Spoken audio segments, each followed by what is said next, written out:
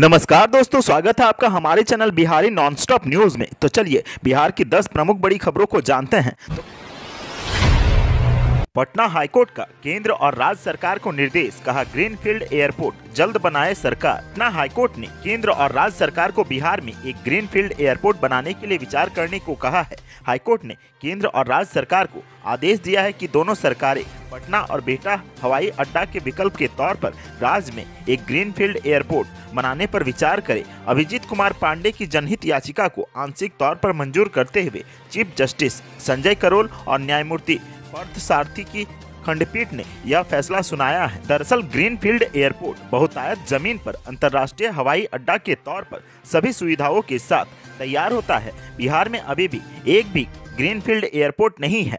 Chief justice की खंडपीठ ने केंद्र सरकार की इस सभी दलील को ठुकरा दिया है कि बिहार में हवाई अड्डा का निर्माण जनहित का मामला नहीं है। हाईकोर्ट ने कहा है कि छोटी हवाई पट्टी के ऊपर बड़े बड़े हवाई जहाज़ नहीं जा सकते। ऐसे में बिहार को एक बड़े ग्रीनफील्ड एयरपोर्ट की ज़रूरत है। बिहार सरकार ने दी राहत। अब अधिक आ रहा है बिजली बिल तो न हो परेशान। राज्य में शुरू होगी जाँच। पूरे बिहार के लोग यदि किसी चीज़ को लेकर सबसे अधिक परेशान हैं तो यह है अचानक से बढ़ता हुआ बिजली बिल। लेकिन अब जल्द ही उनकी यह परेशानी दूर होने वाली है। इसको लेकर राज्य सरकार ने बड़ा फैसला किया है। इसको लेकर सरकार के तरफ़ से मुख्य सचिव तक को ज़रूरी दिशा निर्देश दिया गया है। दरअसल बिहार के मुख्यमंत्री राज्य में बिजली बिल अधिक आने की समस्याओं को सुनकर काफ़ी परेशान है। सीएम की जनता दरबार हो या फिर हाल ही में चल रही समाधान यात्रा हर जगह उनको एक ही समस्या बार बार सुननी पड़ रही है। अब इन शिकायतों से परेशान सीएम नीतीश कुमार ने बड़ा फैसला लिया है। सीएम ने अब इस पूरे मामले को लेकर मुख्य सचिव को अपने तरीके से जाँच करवाने का निर्देश दिया है। उन्होंने दो टूक कहा कि अब मुझे कहीं भी इस तरह की गड़बड़ी की शिकायत सुनने में नहीं आनी चाहिए। मुख्यमंत्री नीतीश कुमार ने कहा कि अभी जब मैं समाधान यात्रा पर निकला हूँ तो सबसे अधिक शिकायत बिजली का जो बिल है, उसको लेकर है। लोगों का कहना है कि उनके उपयोग से अधिक का बिल दिया जा रहा है। यह बिल्कुल गलत और बर्दाश्त करने लायक नहीं है। अब इसको लेकर हमने सभी जिलों के जिलाधिकारी और मुख्य सचिव से लेकर एक एक अधिकारी को यह कह दिया है कि इसका जल्द से जल्द समाधान करे। सबको कहा कि पूरे तौर पर देखिए तो क्यों इस तरह का बिजली बिल आ रहा है। कैंसर की मार से त्रस्त भागलपुर। नौ माह के अंदर 200 से अधिक रोगी। जाने कौन सी गलती पड़ रही है भारी? बिहार के भागलपुर ज़िले में कैंसर रोगी की संख्या घटने के बदले बढ़ रही है। गैर संचारी रोग विभाग ने ज़िले में कैंसर रोग की पहचान के लिए विभिन्न कैंप आयोजित किए। वर्ष 2022 अप्रैल से दिसंबर माह तक कैंसर के कुल 203 नए मरीज़ मिले हैं। ज़िले में ब्रेस्ट, मुँह एवं गर्भाशय कैंसर की जाँच होती है। सरकारी अस्पतालों में इलाज की सुविधा अब तक उपलब्ध नहीं है। पिछले साल जाँच में सबसे ज़्यादा माउथ कैंसर के रोगी मिले। कुल 203 कैंसर रोगी में एक सौ बहत्तर को माउथ कैंसर थी। ब्रेस्ट कैंसर रोगी 19 महिलाएँ तो गर्भाशय में 9 महिला को कैंसर हुआ, जबकि तीन कैंसर के मरीज़ ऐसे मिले जिनको अन्य तरह का कैंसर था। बिहार के विभिन्न जिलों में विभिन्न कैंप में कैंसर रोगी मिले हैं। जाँच में रिपोर्ट पॉजिटिव आने पर इलाज के लिए उन्हें बाहर भेजा जाता है। पटना की सड़कों पर चलेंगी इकसठ नई सीएनजी बसें। जानिए कौन से रूटों पर लोगों की बड़ी सुविधाएँ। बिहार राज्य पथ परिवहन निगम की ओर से संचालित बस सेवा में शुक्रवार को 75 नई सीएनजी बसों को शामिल किया गया है। इनमें 25 एसी और 50 नॉन एसी बसें शामिल हैं। इनमें इकसठ बसों को सिटी बस सेवा में शामिल किया गया है, जिनमें 21 एसी और 40 नॉन एसी बसें हैं। इन बसों का परिचालन शुरू होने से नगर सेवा की बसों की कुल संख्या बढ़कर 145 हो गई है। इनमें 120 सीएनजी और 25 इलेक्ट्रिक बसें शामिल हैं।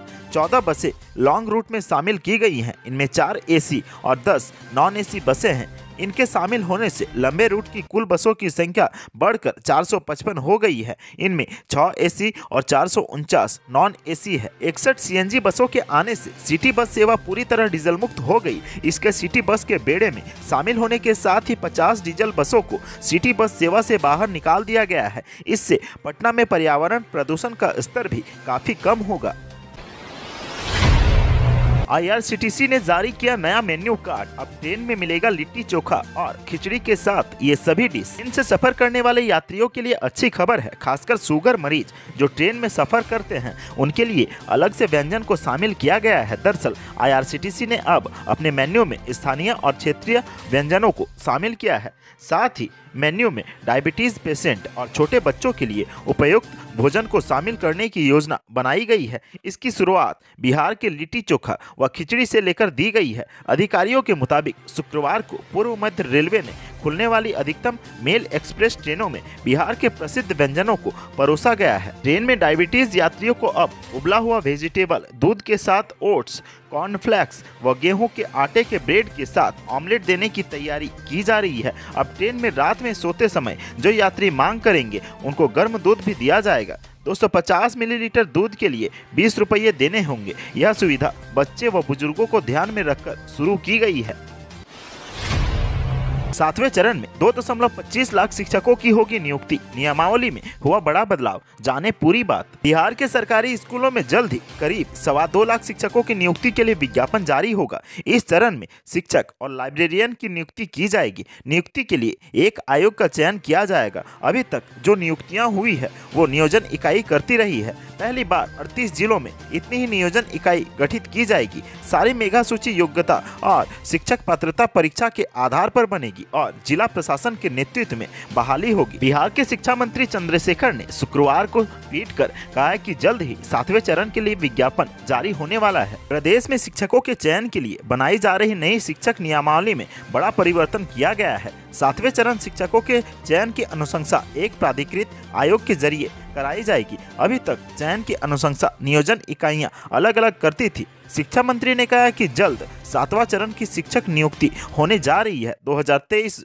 नियुक्ति का वर्ष होने वाला है। उन्होंने कहा कि कोई अभ्यर्थी घबराए नहीं। महीना भर के अंदर नियोजन नियमावली सबके बीच आ जाएगी। बिहार हेल्थ यूनिवर्सिटी अप्रैल से होगा एक्टिव। मेडिकल और नर्सिंग की पढ़ाई में होगा बड़ा बदलाव। जाने पूरी बात। बिहार के चिकित्सा विज्ञान क्षेत्र के सभी संस्थान पहली अप्रैल से आर्यभट्ट ज्ञान विज्ञान से निकलकर नव स्थापित बिहार स्वास्थ्य विज्ञान विश्वविद्यालय पटना के नियंत्रण में चले जाएँगे। इस दिशा में तेज़ी से कार्रवाई की जा रही है। स्वास्थ्य सचिव के सेंथिल कुमार की अध्यक्षता में पिछले सप्ताह आयोजित बैठक में बिहार स्वास्थ्य विज्ञान विश्वविद्यालय के कुल सचिव विमलेश कुमार झा ने प्रस्ताव दिया है कि पहली अप्रैल 2023 से आर्यभट्ट ज्ञान विश्वविद्यालय से संबद्ध सभी सरकारी चिकित्सा महाविद्यालय, डेंटल कॉलेज सरकारी नर्सिंग संस्थान फार्मेसी संस्थान और पारा मेडिकल संस्थानों को बिहार स्वास्थ्य विज्ञान विश्वविद्यालय से संबंध किया जाए।